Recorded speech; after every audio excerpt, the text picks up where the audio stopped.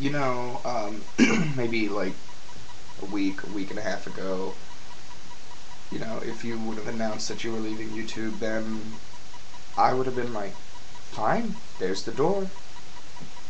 You know, don't let the door hit you on the way out, because, you know, I don't want ass prints on my new door, but I challenged you last week to prove something to me. And you still have time to do that, but, you know, if you leave YouTube, then I have no choice but to tell everyone it was because you were afraid to answer my challenge, and thus that makes you a coward. Okay? Cassius 2012, whatever the fuck, is a coward.